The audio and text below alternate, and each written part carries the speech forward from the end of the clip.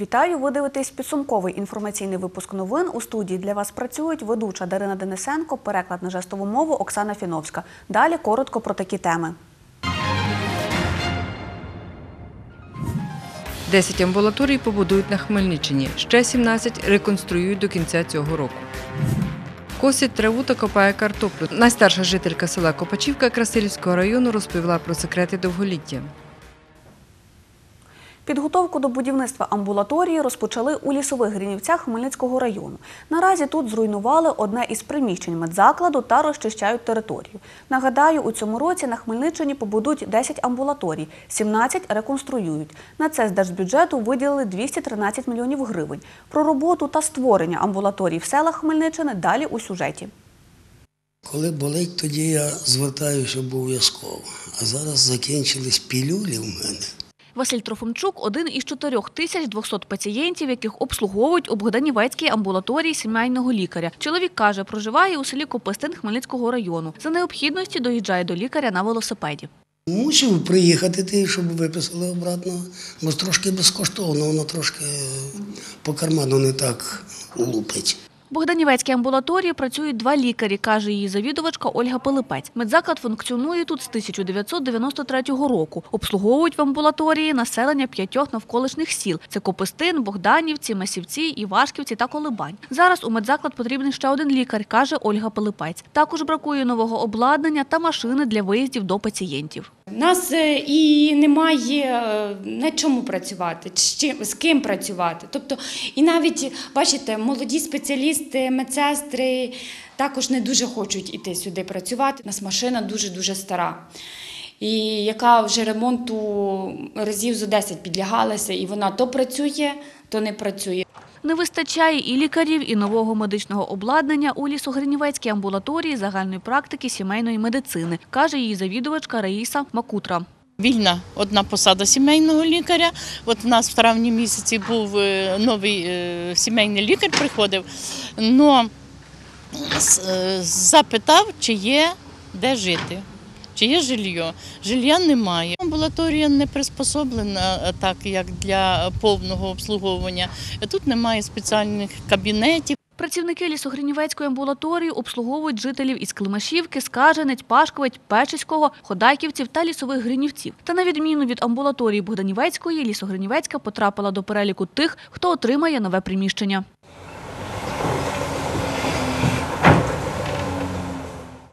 Саме на цьому місці і має з'явитись нова амбулаторія у лісових грінівцях. Тут будуть обслуговувати, як і раніше, 3900 людей. Усі вони жителі навколишніх сіл.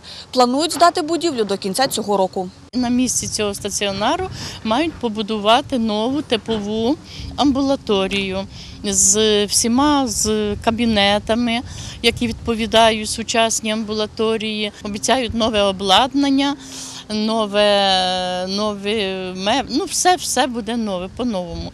І з квартирою для молодого лікаря. 10 амбулаторій побудують та 17 реконструюють на Хмельниччині у цьому році, каже директор обласного департаменту охорони здоров'я Яків Цуглевич. На це з держбюджету виділили 213 мільйонів гривень. На будівництво лісогринівецької амбулаторії витратять 6 мільйонів 48 тисяч. 10% від цієї суми профінансує тамтешня об'єднана тергромада, каже Яків Цуглевич. Об'єднані територіальні громади і сільські ради вже виділили землі під будівництво. Вони разом додають 10% від вартості будівництва. Сільські громади і селищні громади, там, де буде будівництво. Лікарів 21 амбулаторії забезпечать житлом. Приблизно мільйон триста йде на житло. Це дуже важливий крок для того, щоб забезпечити саме сімейного лікаря в селі. І ми надіємося, що сімейні лікарі поїдуть в село, де будуть гарні умови праці, умови проживання. Дарина Денисенко, Ярослава Антошевська, Іван Мовчан та Олександр Горішевський. Новини Поділля Центр. Пораненого вночі чоловіка, на якого напали в одному з дворів обласного центру, прооперували у Хмельницькій обласній лікарні. У нього діагностували численні проникаючі ножові поранення спини та черевної порожнини. Крім того, у чоловіка пошкоджена печінка. Про це повідомив лікар хірургічного відділення Хмельницької обласної лікарні Едуард Латинський. За його словами, стан чоловіка залишається важким. Нагадаю, напад на нього стався вночі 2 серпня на вулиці Попова у мікрорайоні Ракове. Цієї ночі, близько другої години, в одному з дворів стався конфлікт між двома чоловіками на ґрунті неприязних стосунків, в результаті якого 38-річний хмельничанин спричинив ножове поранення 22-річному чоловікові. Потерпілого госпіталізували до реанімаційного відділення.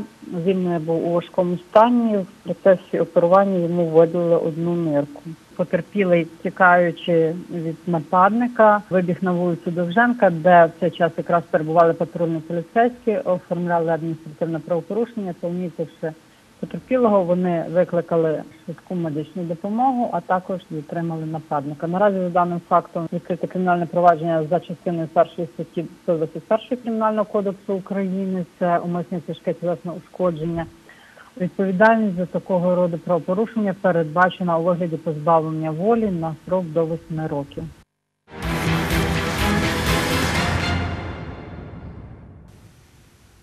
Найстарша жителька села Ключівка Красилівського району, 95-річна Ганна Литвиненко каже, не знає секретів довголіття. Вона пережила голод, колективізацію, працювала на примусових роботах в Німеччині, а потім в колгоспній ланці. І в свої 95 жінка сапає й копає картоплю, косить сіно і присідає на поріг тільки лущити квасолю чи в'язати часникові вінки. Із довгожителькою спілкувалася Світлана Поробок.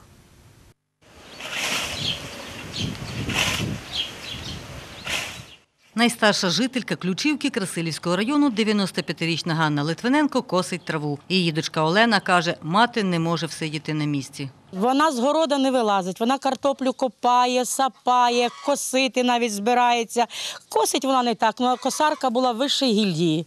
Вона дуже-дуже хорошо косила. Всю картоплю викопала на цьому участку, бо то так і, і дядькова хата.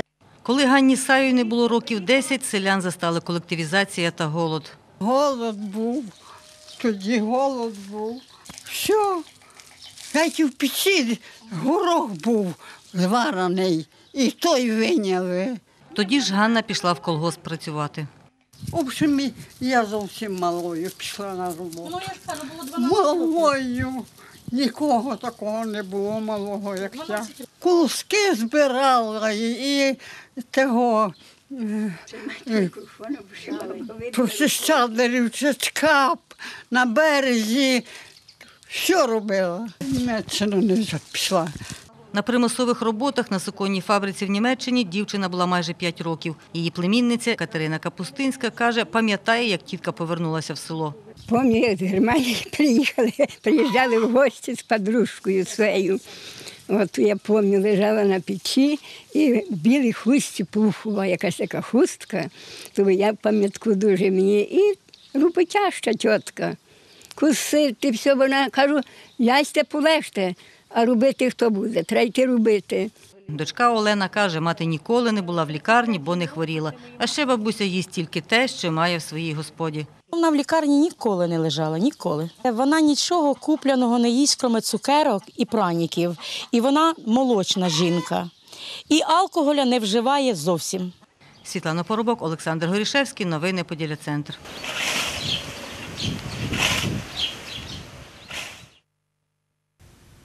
Ви дивитесь підсумковий випуск новин і далі коротко про такі теми. 370 першокурсників Національної академії Державної прикордонної служби України сьогодні розпочали практичну військову підготовку. Історичний Межибіж поповнився двома знахідками: цегляна викладка та пічній кахлі з гербовою символікою польського короля. 370 першокурс- першокурсників Національної академії Державної прикордонної служби імені Богдана Хмельницького сьогодні прибули в навчальний заклад. Від сьогодні і до 1 вересня вони проходитимуть початкову практичну військову підготовку. З новачками-курсантами спілкувалася Світлана Поробок.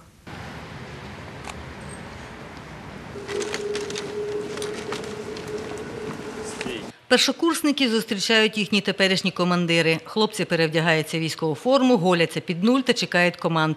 Від сьогодні і наступні чотири роки вони навчатимуться в прикордонній академії. О 6 ранку підйом, о 22-й відбій. Дозвілля курсанта – одна година на добу. Випускник Кам'янець-Подільського ліцею з посиленою військово-фізичною підготовкою Денис Бондар до такого режиму, каже, звик. Ми проходили досить е, тяжкі навантаження в Кам'янці. Тут, я думаю, буде мені легко. У нас була одна година на день, це з 8 до 9 ввечері позвонити до батьків. Старшина навчальної групи, курсант 4-го курсу Андрій Ситкін каже, військовий розпорядок вчить цінувати свій час. Все можна встигнути за годину. Це важкий, складний період, але він потрібен. Це фундамент виховання офіцера-прикордонника. Першокурсник Андрій Голубцов до вступу в академії служив у прикордонних військах за контрактом. Там він отримав звання сержанта, після чого вирішив поглиблено вивчати військову справу в виші.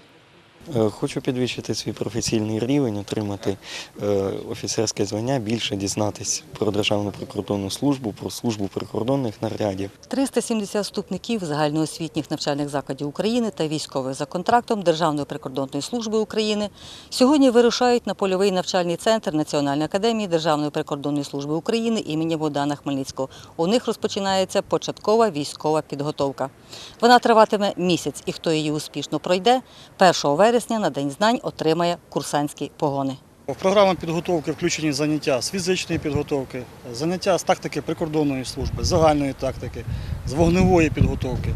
Початкова практична військова підготовка, каже офіцер, як перший іспит на зрілість для першокурсників. Якщо проводити аналіз е, минулого року початкової військової підготовки, то протягом е, підготовки, якщо брати всіх курсантів за 100%, то близько 3% виявило бажання відрахуватися в зв'язку з тим, що ну, певні умови, певне навантаження За словами Олександра Адамчука, цього року прикордонний виш 100% виконав державне замовлення за кількістю вступників. Цьогоріч воно було збільшене на 20%. Конкурс приступів академії склав в два абітурієнти на місце, а на факультетах правознавства та охорона державних кордонів – п'ять вступників на одне місце. Світлана Поробок, Віктор Кривий, новини Поділля Центр. На першому поверсі палацу Синявських, що розташований на території Державного історико-культурного заповідника Межибіж, археологи натрапили на знахідку другої половини XVI століття. Це цегляна викладка та пічні кахлі з гербовою символікою, польського короля. Детальніше Тетяна Ворожцова. Це перший поверх палацу Синявських, де розташовувалися жилі кімнати. І тут під час реставраційних робіт археологи натрапили на цегляну викладку. Це цегла називається пальчатка, тому що на одному боці з них такі є е, канавки, які немов би пальцями проводили. Це була спеціальна технологія для того, щоб цегла міцніше трималася на розчині. Це підлога, що вона вичовгана. Тобто цегла гладесенька, по ній багато ходили. Зрозуміло, тоді ходили воїни. Тут багато було. В них були підкови під на чоботях. І все це засвідчено ось тут, в цій, в цій кімнаті. Розкопки на території палацу Синявських ведуть 10 волонтерів з семи країн. Це студенти вишів. Їх у Межибужі об'єднав міжнародний волонтерський проект Середньовічний бастіон. Зацікавлена в археології. Саме тому я потрапила на цей проект. Зараз закінчується майже другий тиждень нашої роботи. Наша група майже зі всіх частин світу. Є учасники з Мексики, з Турції, з Бельгії, з Франції. Також є українці. Uh,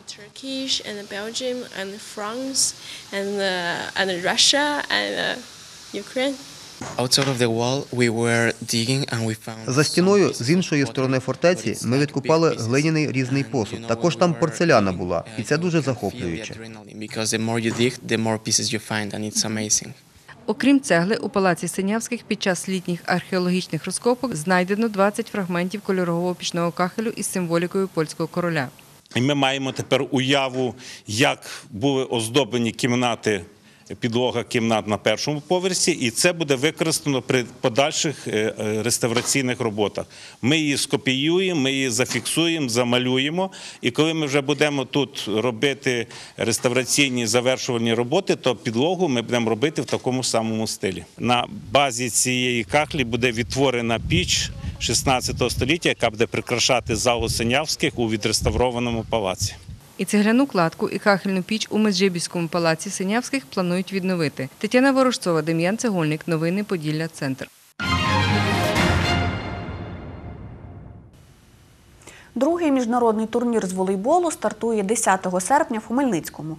За його першість разом з українцями змагатимуться команди з Болгарії, Польщі та Прибалтики. Всього на медалі претендуватимуть 18 збірних. Хмельниччину на турнірі представить хмельницький клуб Новатор.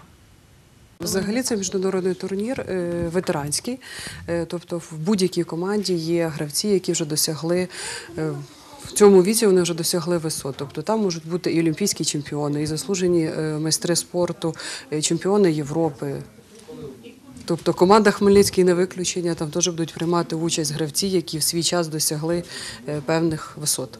В команді Новатор буде приймати гравці, які на сьогодні є тренерами команди Новатор, яка приймає участь в суперлізі чемпіонату України. Також е, є гравці, е, які е, тренують дитячий волейбол. Це була остання інформація випуску. Більше ви можете дізнатись на нашому офіційному сайті та на сторінці у Фейсбук. Побачимось!